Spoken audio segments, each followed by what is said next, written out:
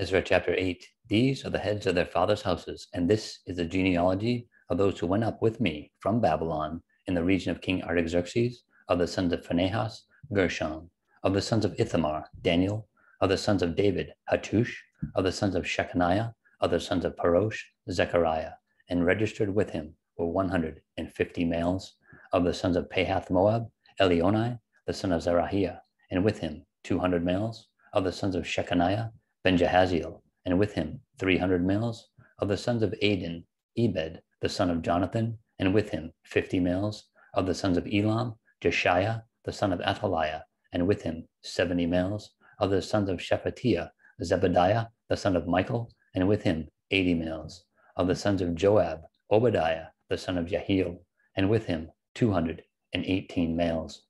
of the sons of Shelomith, Ben Josiphiah, and with him 160 males of the sons of Bebai, Zechariah, the son of Bebai, and with him 28 males of the sons of Azgad,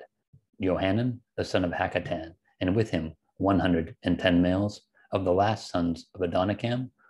whose names are these Eliphelet, Jael, and Shemaiah, and with him 60 males. Also of the sons of Bigvai, Uthai, and Zabbud, and with them 70 males.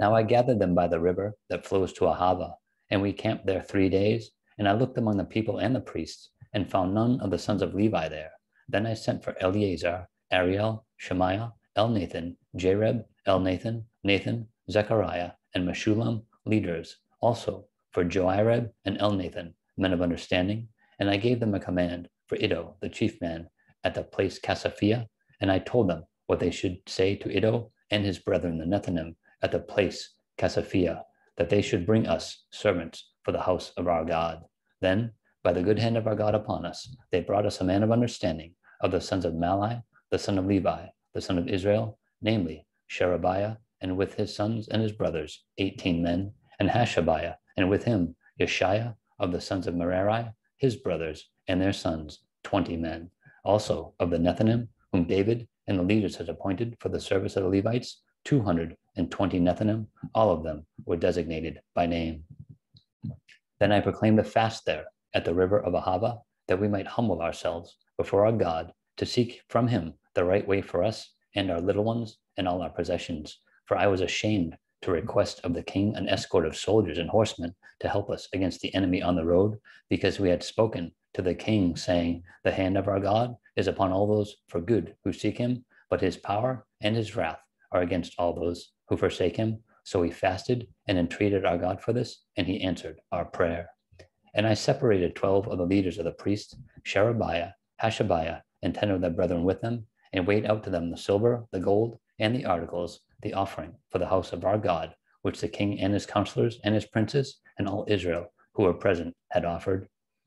I weighed into the hand 650 talents of silver, silver articles weighing 100 talents, 100 talents of gold, 20 gold basins worth a thousand drachmas, and two vessels of fine polished bronze, precious as gold. And I said to them, You are holy to the Lord, the articles are holy also, and the silver and the gold are a freewill offering to the Lord God of your fathers. Watch and keep them until you weigh them before the leaders of the priests and Levites and heads of the fathers' houses of Israel and Jerusalem and the chambers of the house of the Lord. So the priests and the Levites received the silver and the gold and the articles by weight to bring them to Jerusalem, to the house of our God.